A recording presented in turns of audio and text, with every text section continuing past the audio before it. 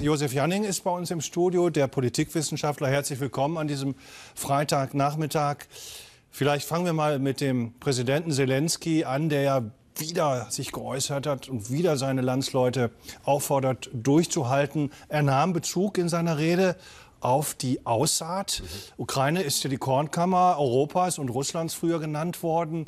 Äh, wie bewerten Sie das, was er da gesagt hat? Und vor allem, was passiert, wenn diese Aussaat nicht stattfinden kann?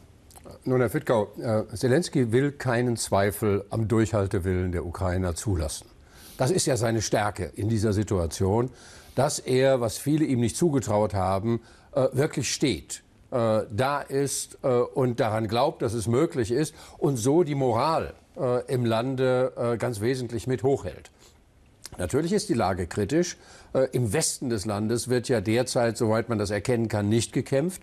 Dort kann sicher auch Aussaat stattfinden, aber in vielen anderen Bereichen im Osten oder um die großen Städte herum äh, halte ich das für sehr schwierig. Mhm. Es wird in jedem Fall äh, dann eine äh, verminderte Aussaat geben, damit auch eine verringerte Ernte. Vielleicht wird auch ein Teil der Aussaat später durch Panzer plattgewalzt werden. Das kann man jetzt noch nicht äh, beurteilen.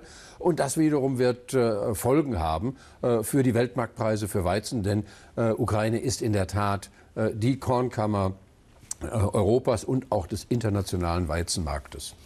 Zelensky steht mit seiner Aussage bezüglich des Aussehens, für mich jedenfalls an diesem Tag, für das Leben. Und Putin steht für das Todbringende. Äh, Mariupol steht ständig ja. unter Beschuss. Haben wir gehört, was kann diesen Diktator stoppen? Am Ende kann ihn nur die eigene Einsicht äh, in die Unerreichbarkeit seiner Ziele stoppen. Ja, und äh, das ist bisher nicht zu erkennen. Äh, wir äh, sehen, dass derzeit die russische Kriegsführung ganz klar auf sogenannte Counter-Value äh, Ziele geht. Das heißt, da man das Militär der Ukrainer nicht einfach ähm, schachmatt setzen kann, wird die zivile Infrastruktur zerstört. und dabei hilft ironischerweise auch die Entvölkerung der Städte, denn umso ungehinderter können die dann in Grund und Boden zerschossen werden. Das kann auch lange so gehen, ne? Das kann noch eine ganze Zeit so mhm. weitergehen mhm. Äh, und damit auch das Leid der Zivilbevölkerung äh, kann so weitergehen.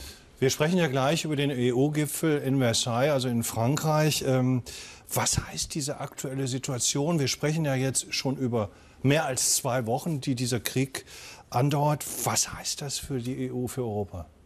Und das heißt für Europa, dass eine schnelle Entscheidung, äh, die ja auch befürchtet worden war von einigen, äh, nicht zustande kommt. Einfach deswegen, weil die Ukrainer erfolgreicher gegenhalten, als äh, äh, manche befürchtet hatten.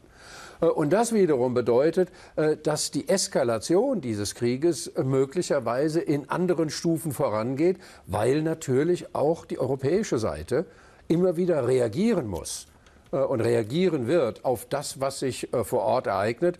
Das heißt, wenn die Russen die Intensität dieses Krieges steigern, und darauf deutet alles hin, dann werden äh, auch die Europäer und die Amerikaner neue Sanktionen beschließen. Und jede neue Sanktion wird wiederum auch Europa ein Stück mehr treffen, hm. äh, treffen müssen, hm. äh, weil das nun mal auch der Effekt von wirtschaftlichen äh, Sanktionen ist. Wir sehen ja jetzt schon jetzt eine ungeheure Flüchtlingsbewegung, die äh, vor allem auf Polen, aber auch auf äh, Ungarn und die Nachbarländer, aber auch auf Deutschland äh, zukommt und zurollt. Jetzt gibt es Leute, die sagen, das ist erst der Anfang, wenn das so eine Zeit lang noch weitergeht in der Ukraine, möglicherweise sich auf den Westen auch noch ausdehnt, diese Kriegshandlungen. Es gibt sogar Leute, die meinen äh, und schätzen, es wären bis zu 10 Millionen Menschen äh, möglich, die dann zu uns kommen. Rahmen werden diese Menschen gezielt, also diese Flüchtlingsbewegungen gezielt als hybride Kriegsführung von Putin eingesetzt? Das kann man bisher nicht erkennen. Natürlich äh, ist es Teil der russischen Kriegführung, Menschen zu vertreiben, Menschen heimatlos zu machen, ihnen die Existenzgrundlage zu nehmen. Ja, das ist ja das, das Ziel dieser Art von Kriegführung, ist äh, Demoralisierung, äh, ist äh, den Willen zum Durchhalten zu schwächen. Das heißt also, je mehr Flüchtlinge, je mehr Menschen ihre Lebensgrundlage verloren haben, desto möglicherweise größer die Chance, äh, die Ukraine in die Knie zu zwingen. Ähm, das passt schon. Äh, auf der anderen Seite bleibt vielen Menschen in den belagerten äh, Städten und Regionen gar nichts anderes übrig, als ihre Sachen zu packen und zu gehen.